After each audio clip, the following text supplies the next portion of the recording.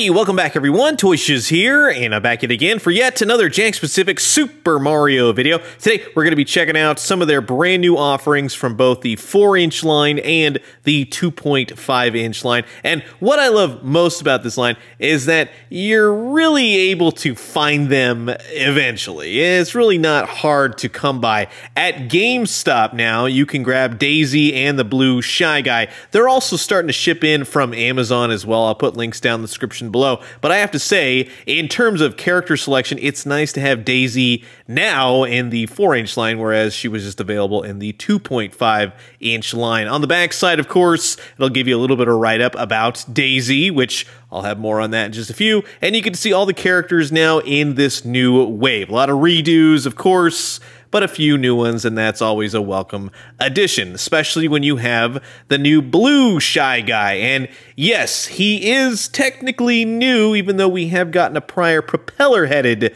Blue Shy Guy, but again, more on that in just a few. You can read up on the Blue Shy Guy and how you can't see their faces and they're creepy. And the Shy Guys are really some of my favorite characters from the Mario franchise. Here's the barcode if you want to check for him at your local GameStop. Now, in the 2.5 inch line, I recently went into Target and ended up finding these, which is again always nice to have. You have the red toad, which there's not going to be a whole lot of new here technically, but it's a new variation on Toad. So you kind of get it. If you've been collecting the Jakks Pacific Super Mario line, there's a lot of redos, a lot of color differences you get the idea. Here's the barcode if you want to check your targets. And likewise with Baby Peach, that seems to be the one that everyone is kind of going after now. So that's, again, nice to find right off the bat. The backside, you get to read up on Baby Peach, which she will go nice with the Baby Mario if you have that from last year. And then finally, we have the green Shy Guy. So multiple colors of the Shy Guy. They've done a ton of these. Green yeah, yeah, it's always nice to have a different colored Shy Guy. Again, there's not going to be a whole lot of new here, but 2.5 inch, 4 inch, hey, we got something to talk about. So sit back, relax, grab yourself a nice hot cup of coffee. This is a look at several new Super Mario action figures from Jakks Pacific's 4 inch and 2.5 inch Mario lines. Let's, Let's go. go. So now here's everything taken out of the packaging. You have the 4-inch figures, they get one accessory, and then you have the 2.5-inch figures that get no accessories, unless you're at 5 below and you have that alternate packaging where, yes, the 2.5-inch characters get an accessory. But that's neither here nor there, because the blue Shy Guy comes with a coin. It is the umpteenth time we have seen this coin a lot of coins in the old collection, I'll tell you what. The new Blue Shy Guy, in looking at the prior release, the one with the propeller head, this one is a newer blue coloring. He has purple shoes, he's got brown on the bottom, but then other than that, it's a Shy Guy you already have. If you, especially if you have the red Shy Guys, propeller or otherwise, you'll know that the articulation will be the same. He even has a little bit of waist along with the feet and the arms. You get the idea. One of these days, I would like to see a Shy Guy come with some fruits. The other green Shy Guy in the 2.5 inch line, again, nothing really all that new, except that he's like a pea soup green, and that's always nice to see. Again, a variance kind of like we'll say Yoshi's Island, different colors. You can swap the waist, which will move the feet, the arms, he's a cool looking shy guy. All the paint is pretty solid on these so far, so that's a nice touch for Jakks. Sometimes it goes either way. Baby Peach, though, I will say, is quite the standout, both in terms of the sculpts. You have a really nice paint. You're going to have minimal articulation. She's a little difficult to stand.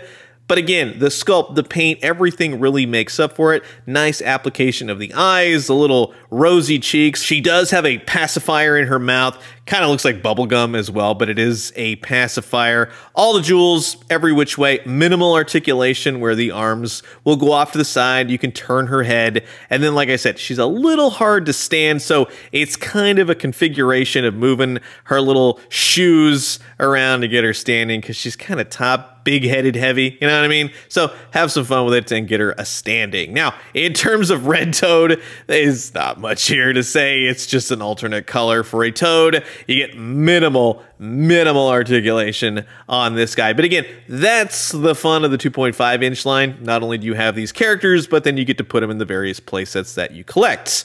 In terms of Daisy, you get a Starman. Again, like the coin, we have a dozen of these. Daisy, though, is a true standout along with Baby Peach in their respective lines. It's nice to have a 4 inch scale Daisy all of the paint. Everything looks good. Again, in talking about Jakks Pacific over the years, sometimes the paint can go every which way. The sculpt is really nice on her. The yellows of the dress, the orange highlights. She has basically just some feet sticking out at the bottom, no legs like prior Peach figures. You get some pretty decent articulation in the head along with all that extra hair, although you can kind of see that the way it moves will clear the shoulders. The poofs of her dress are nicely done. They don't really hinder the articulation along with the hair, and it's nice in the actual elbows they are ratcheted this time around, so that's a nice bit of an upgrade for articulation in terms of Jakks. She'll also spin at the elbow. She has a little bit of a quote-unquote ab crunch. More of a swivel, but it's a little bit more rotation than we usually see for a Jakks-Pacific figure.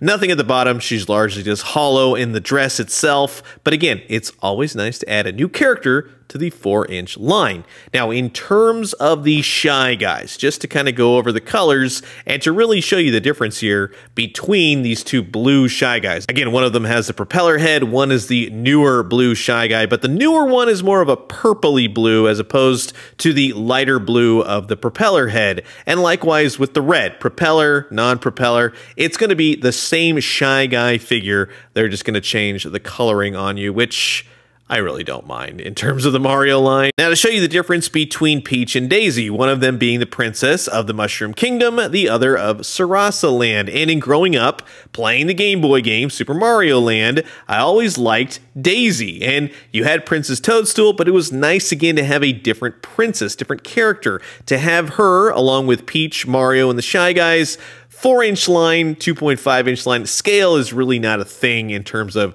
the Jakks Mario line. They semi get it time to time. It's really not a big deal, to be honest with you. But if you want to have Baby Peach with Princess Peach, even though that's kind of a time paradox, yeah, the 2.5 inch Baby Peach will look nice with Mario, Peach, and the rest of the 4 inch line. Go figure. I thought she'd be entirely too small but she looks pretty darn cool. And again, in terms of Daisy and Baby Peach and Mario, yes, the 2.5 inch figure will go with the 4 inch line, but that really doesn't apply to all the 2.5 inch figures. And one more thing to kind of point out is that I noticed that Daisy has a little bit more articulation in the head looking down along with that ab crunch, which just gives her a little bit more articulation value. And across the board for the 2.5 inch line, Yes, again, scale, not really a thing. However, in building up your levels, building up your Mario lands, everything looks really solid. And speaking of Mario lands, to say that I'm stoked for not only a 2.5 inch Daisy, but a 4 inch figure.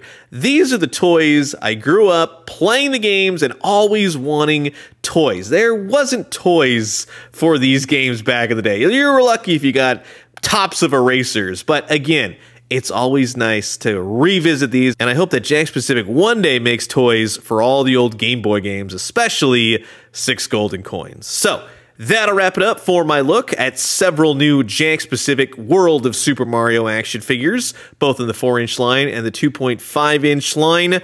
Maybe a few changes here and there. For the love of God, give the Shy Guys some fruit or some other different accessory that better matches the video games. Overall, the paint, the sculpts, the variation of colors, I don't mind it. I'm always happy with the Jakks Pacific Mario line. Keep bringing them on. Want to see that King Boo sets. They have a new Mario level that's on Amazon UK. It looks pretty cool. It looks like it's based off of the old original ending of the very first Super Mario Brothers level sky's the limit. So you've heard my thoughts. Now I'm curious to know yours. Comment below, let me know. Let's talk everything Super Mario.